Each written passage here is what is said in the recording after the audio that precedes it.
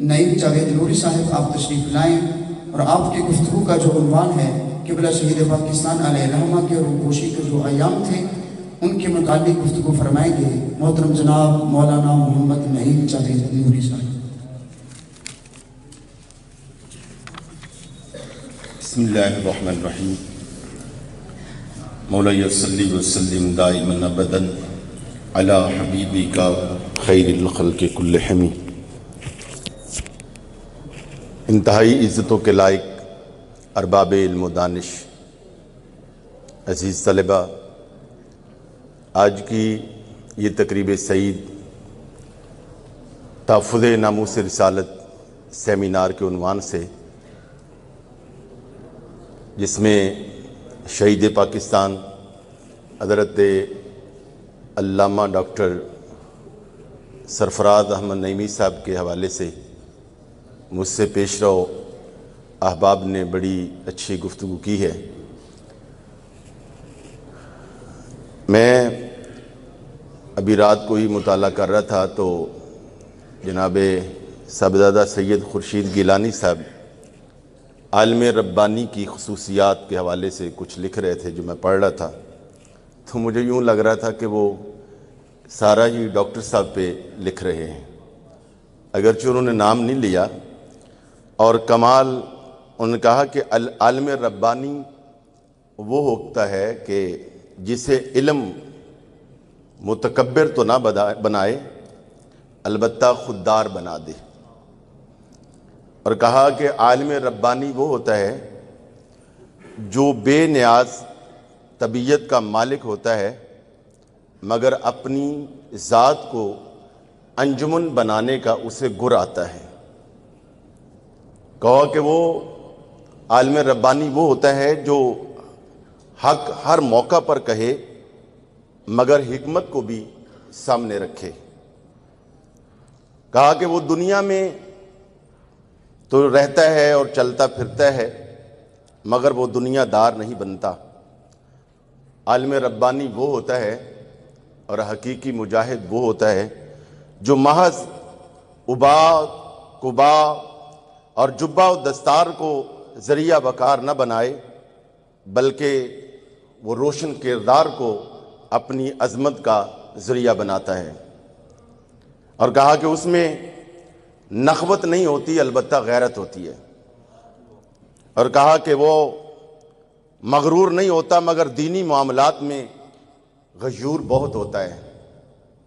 کہا کہ وہ، اور حقیقت بات یہ ہے کہ حضرت شہید پاکستان وہ درد مندوں اور کارکنان کی مجلس میں خاکسار تھے، مگر تاجوروں کی محفل میں وہ کوہ وکار تھے۔ اور یہ ایک حقیقت ہے کہ ان کے ہاں چیتے کی آنکھ بھی تھی، چیتے کا جگر بھی تھا۔ اور شاہین کی آنکھ بھی تھی اور ایک عالم ربانی کے طور پر حکمت کا بہت بڑا اللہ نے ان کو ملکہ عطا فرما رکھا تھا۔ اور کام کرنے کا ان کا جو اسلوب تھا، جو طریقہ تھا، میں نے دو ہزار ایک سے لے کر ان کی شہادت تک ان کے ساتھ الحمدللہ بہت وقت گزارا ہے۔ چونکہ تحفظ ناموس رسال معاذ کے سربراہ تھے جناب استاذی المکرم، محقق الاسد، حضرت مولانا مفتی محمد خان قادری صاحب۔ تو مجھے، میں ان کا بڑا قریبی خادم تھا۔ تو ان کی وجہ سے مجھے ڈاکٹر صاحب کے ساتھ آنا جانا اور خدمت کا بہت زیادہ موقع ملتا تھا۔ اور ہر موقع پر میں اس وقت ان کے پاس رہ کر یہ دیکھا کہ جب بھی کوئی مسئلہ پیش ہوتا تو یہ دونوں شخصیات، حقیقت بات یہ ہے کہ یہ عالمی سطح پر ہر مسئلے کو دیکھا کرتے تھے۔ اور پھر اس وقت کے جب سوشل میڈیا میں نہیں تھا اور اس طرح کے بہت سارے ایسی آسائشیں، سہولیات یہ ساری نہیں تھی، مگر ان میں رہ کر ڈاکٹر صاحب نے جو کام کیا، اور یہ جو ابھی محترم ارشد نعیمی صاحب ذکر فرما رہے تھے جس مجلس اور میٹنگ کا، تقریباً ایک ہفتے کا ٹائم تھا پورا۔ اس کے بعد بلکہ اگلے دن چھ دن باقی رہ جاتے تھے۔ جس میں اشتہار بھی چھپنا تھا اور دعوتیں بھی دینی تھی دعوت نامہ بھی بننا تھا اور سارے تیاریاں ہونی تھی حقیقت بات یہ ہے کہ اس میں کوئی شک نہیں ہے کہ لوگ اپنے نبی کے نام پر جان دینے کے لیے تیار ہیں، مگر یہ حقیقت ہے کہ اقامت دین کے لیے، اشاعت دین کے لیے اور ناموس رسالت کے تحفظ کے لیے ایک خاص قسم کا ویژن، ایک خاص قسم کا صبر، ایک خاص مقام کی استقامت اور جرت درکار ہوتی ہے۔ اور وہ جرت وہ استقامت، وہ جوہد مسلسل، وہی اصل میں اپنا کام دکھاتی ہے۔ اور یہ تمام احباب جو قریبی ساتھی ہیں اور رفقا ہیں وہ جانتے ہیں کہ آخری چوبیس گھنٹے ڈاکٹر صاحب سوئے نہیں تھے۔ اور اس دن اثر کے بعد، ایک دن پہلے جب دعوتیں دینے کے لیے نکلے، تو شادرہ سے لے کر جناب حاجی امداد اللہ صاحب کے پاس ہم مغرب غالبن عشاء کے بعد پہنچے۔ اور طریقہ یہ بنایا تھا ڈاکٹر صاحب نے کہ گاڑی کے اندر جو بڑی گاڑی تھی، چار پانچ لوگ تھے، آپ فرماتے تھے کہ جیسے ہی ایسے باریاں لگی تھیں کہ اگلے مثلا آجی امداد صاحب کے پاس جانا ہے، تو وہاں دو بندوں نے ان سے میٹنگ کرنی ہے، باقی جو چار بندے ہیں وہ اردگر جلدی جلدی اشتہار لگا دیں گے۔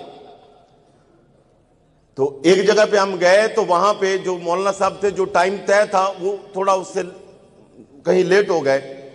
تو اللہ اکبر، ہم جتنے تھے وہ دو دو بن گئے۔ ڈاکٹر صاحب اکیلے رہ گئے، تو آپ نے جتنے لوگ تھے ان میں ایک ساتھی تھا جو زیادہ ہم سے کام کر رہا تھا۔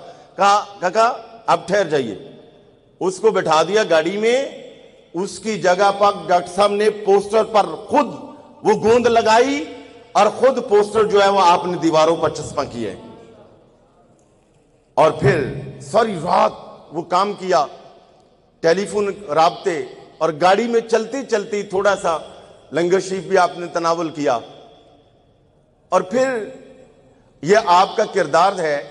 یہ ساری چیزیں تو احباب بیان کی ہیں۔ جب وہ چودہ فروری دو ہزار چھ کو وہ سارا معاملہ ہوا، تو رات کے وقت مفتی صاحب اور علامہ احمد علی قصوری صاحب اور بھی کئی احباب تھے، ایک میٹنگ ہوئی۔ تو میں حیران ہو گیا کہ اللہ نے کیا نگاہ بصیرت دے رکھی ہے حضرت شہید پاکستان کو۔ آپ نے فرمایا، مجھے لگتا یوں ہے کہ ہم اپنا کام کریں گے۔ مگر ایجنسیاں بھی ہم سے بڑی تیاری کر کے بیٹھی ہیں۔ ہم نے کہا کہ وہ کیا ہے تیاری؟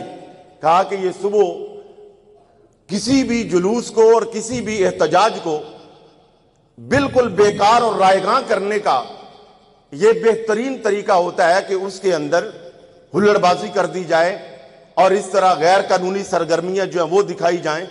تو مجھے لگتا ہے کہ یہ گراؤ جلاؤ جو ہے وہ ایجنسیوں کے لوگ کریں گے۔ اس کا ہم نے کیا کرنا ہے؟